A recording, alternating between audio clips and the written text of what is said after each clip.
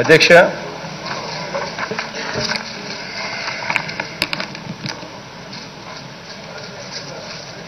కొత్త స్పీకర్ గారికి నా తరపున ప్రభుత్వం తరపున ఆంధ్రప్రదేశ్ ప్రజలందరి తరపున అభినందనలు అధ్యక్ష.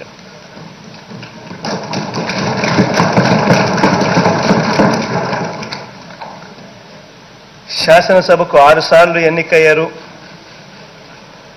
సౌమ్యుడిగా మంచి పేరు తెచ్చుకున్నారు.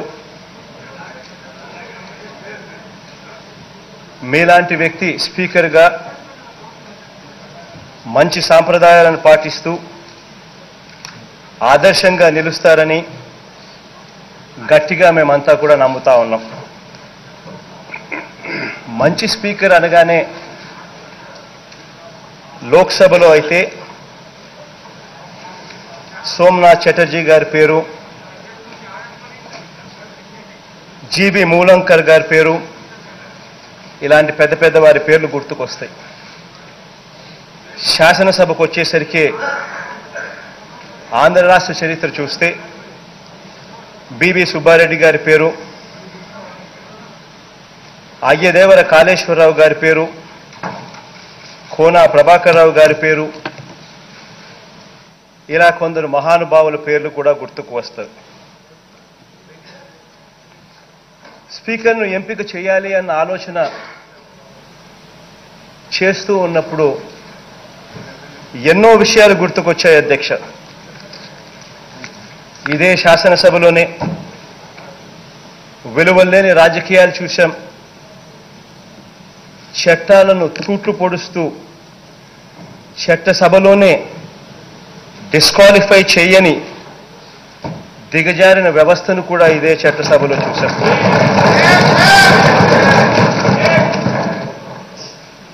ప్రతిపక్ష నాయకుడిని మాట్లాడనివ్వని దిగజారని వ్యవస్థను కూడా ఇదే చట్టసభలో చూశాం. ఇలా ఇన్ని ఇన్ని ఇలా ఇన్ని చూశాక నేను ఎలా ఉండాలి అన్న మీమాంస కూడా స్పీకర్ గారిని ఎన్నిక చేసేటప్పుడు ఎలా ఉండాలి అన్న మీమాంస కూడా నాలో కూడా కలిగింది అధ్యక్ష. కానీ నేను కూడా అలానే చేస్తే నేను కూడా అటువంటి అన్యాయమైన సాంప్రదాయాలనే పాటిస్తే ఇక మంచి అనేది ఎక్కడా కూడా బతకదు అధ్యక్ష ఇక రాష్ట్రం కూడా బాగుపడే పరిస్థితి కూడా ఉండదు అధ్యక్ష. కాబట్టి శాసనసభ సాంప్రదాయాలను పార్లమెంటరీ విలువలను రాజ్యాంగ స్ఫూర్తిని తెలిసిన వ్యక్తి అటువంటి వ్యక్తి న్యాయం చేస్తాడు అని చెప్పి నమ్మి అటువంటి అన్ని గుణాలు మీలో ఉన్నాయి అని చెప్పి సంపూర్ణంగా నమ్ముతూ ప్రజాస్వామ్యం మీద చట్టసభల మీద మళ్ళీ నమ్మకం పెంచేందుకు అందుకు సీఎంగా నా సంపూర్ణ నిబద్ధత ఉండాలి అని వ్యవస్థలోకి మార్పులు తీసుకురావడం కొరకు సీఎంగా ఒక మంచి మనసు ఉండాలని అందుకే సీతారామన్నను సీతారాం గారిని సరైన వ్యక్తి అని చెప్పి మనస్ఫూర్తిగా నమ్ముతూ బాధ్యతలు స్వీకరించాల్సిందిగా కోరటం జరిగింది. ఒక్క విషయం చెప్పాలి అధ్యక్ష ఇక్కడ.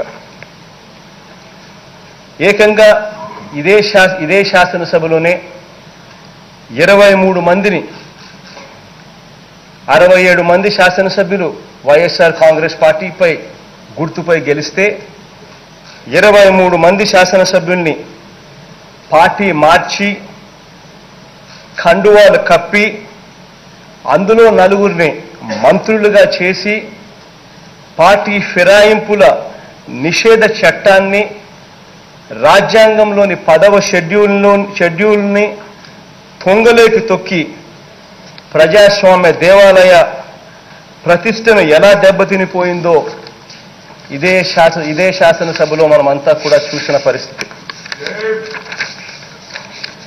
ప్రతిపక్ష ఎమ్మెల్యేలను ఇదే శాసనసభలోనే ట్రెజరీ బెంచుల్లో అంటే అటువైపు కూర్చొని ఉండాల్సిన వాళ్ళను ఇటువైపున అధికార పార్టీ బెంచుల్లోకి ట్రెజరీ బెంచుల్లోకి కూర్చోబెట్టుకొని ఫిరాయించిన నలుగురిని మంత్రులుగా చేసిన వ్యవహారాన్ని కూడా ఇదే సభలోనే చూశారు.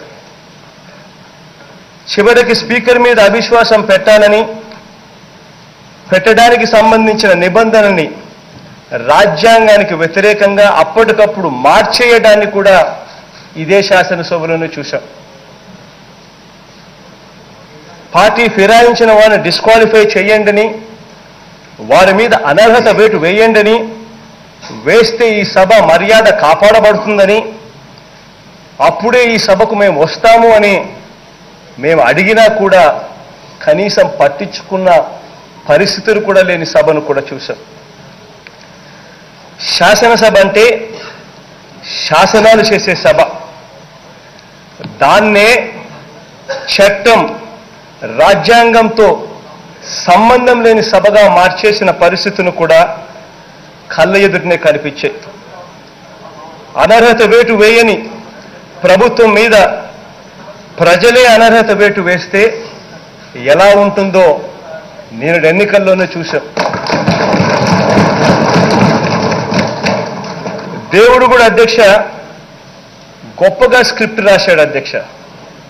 దేవుడు రాసిన స్క్రిప్ట్ ఎంత గొప్పగా ఉంటుంది అన్న దానికి నేరడు జరిగిన ఎన్నికలే అధ్యక్ష నిదర్శనం. ఎమ్మెల్యేలను కొనుగోలు చేసిన ఎమ్మెల్యేలను కొన్నవారికి వచ్చిన సీట్లు ఎంతో తెలుసా అధ్యక్ష? అక్షరాల ఇరవై మూడు సీట్లు. ఎంపీలను కొన్నవారికి ముగ్గురు ఎంపీలను కొన్నవారికి అక్షరాలుగా అక్షరాల వాళ్ళకు వచ్చిన సీట్లు ఎంతో తెలుసా అధ్యక్ష ఎంపీ? అక్షరాల మూడు. అది కూడా అధ్యక్ష అది కూడా అధ్యక్ష. ఎప్పుడు వచ్చిందో తెలుసా అధ్యక్ష? ఇరవై మూడో తారీఖున అధ్యక్ష. ఇంత గొప్పగా జరిగింది అని అంటే దేవుడు ఎంత గొప్పగా స్క్రిప్ట్ రాస్తాడు అని చెప్పడానికి వేరే నిదర్శనం అవసరం లేదు అధ్యక్ష. Beauty of democracy beauty of God's grace ఈ రెండూ కూడా ఈ చట్టసభలో మళ్ళీ ఇవాళ చూస్తూ ఉన్నాం. అన్యాయం చేస్తే శిక్ష ఎలా ఉంటుంది? అన్నదానికి నిదర్శనంగా ఈరోజు మనమంతా మళ్ళీ ఇవాళ ఏకమయ్యాం అధ్యక్ష.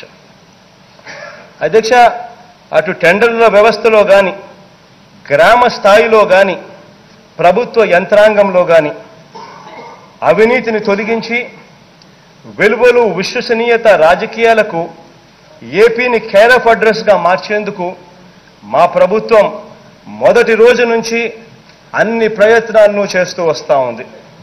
ఈ ప్రయత్నంలో భాగంగానే శ్రీ తమ్మినేని సీతారాం గారిని స్పీకర్గా ప్రతిపాదించడం కూడా జరిగింది. ఒక స్పీకర్ ఒక లీడర్ ఆఫ్ ది హౌస్ ఎలా ఉండకూడదో గత శాసనసభ చూస్తే అందరికీ అర్థమైంది. ఎలా ఉండాలో చెప్పడానికి ఈ శాసనసభ ఈ ప్రభుత్వం కంకణం కట్టుకుంది.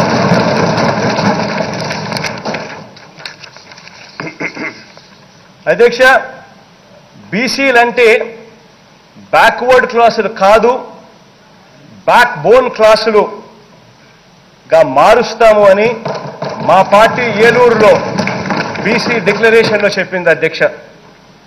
బడుగు బలహీన వర్గాలకు పెద్దపీట వేస్తూ ఎప్పుడూ జరగని విధంగా దాదాపు అరవై శాతం మందికి మంత్రి మండలిలో స్థానాలు కల్పించడమే కాకుండా ఐదుగురిని డిప్యూటీ సీఎంలుగా చేశాం. అందులో నలుగురిని బడుగు బలహీన వర్గాలకు సంబంధించిన వారిని డిప్యూటీ సీఎంలుగా చేశాం. అందులో భాగంగా ఇంకా ఒక అడుగు ముందుకు వేస్తూ ఇప్పుడు తమ్మినేని గారిని ఎంపిక ద్వారా అధికారంలోనూ పరిపాలనలోనూ శాసనసభలోనూ మా కమిట్మెంట్ను మా కట్టుబాటును నిరూపించుకుంటా ఉన్నాం అధ్యక్ష ఈరోజు. మీ ఆధ్వర్యంలో నడిచే ఈ శాసనసభ పార్లమెంటరీ సాంప్రదాయాల విషయంలో దేశానికి ఆదర్శం కావాలని కోరుకుంటూ మరోసారి మీకు అభినందనలు తెలియజేస్తా ఉన్నాను అధ్యక్ష. ఇక్కడ ఒక్క విషయం మాత్రమే అందరికీ చెప్పదలుచుకున్నాను అధ్యక్ష. అధ్యక్ష ఎవరైనా కూడా నాకు ఇక్కడికి వచ్చినప్పుడు కూడా అడిగారు అధ్యక్ష. చంద్రబాబు నాయుడు గారికి ఇరవై మూడు మంది శాసనసభ్యులు ఉన్నారు. ఒక ఐదుగురిని లాగేస్తే ఆయనకు పద్దెనిమిది మంది పదిహేడు మంది వస్తారు. అప్పుడు ఆయన ప్రతిపక్ష నాయకుడు స్టేటస్ కూడా ఉండదు లాగేద్దామని. నేను అన్నా అధ్యక్ష అలా చేస్తే నాకు ఆయనకు తేడా లేకుండా పోతుంది అన్నాను అధ్యక్ష.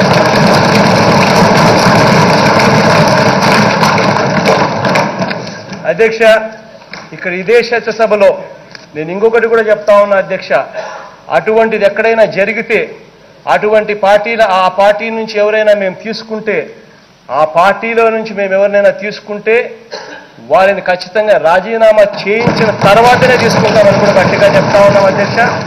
అలాంటిది ఏదైనా పొరపాటున జరిగితే నేను మీకే విన్నవిస్తున్న అధ్యక్ష వెంటనే డిస్క్వాలిఫై చేయండి అని కూడా మీకే విన్నవిస్తా ఉన్నా అధ్యక్ష. ఇటువంటి గొప్ప గొప్ప ప్రాక్టీసులన్నీ మళ్ళీ శాసనసభకు మళ్ళీ వస్తాయని చెప్పి సంపూర్ణంగా నేను నమ్ముతూ మీరు ఆ పని చేయగలుగుతారని చెప్పి సంపూర్ణంగా ఆశిస్తూ మీకు నా అభినందనలు తెలియజేస్తున్నాను అధ్యక్ష. All the best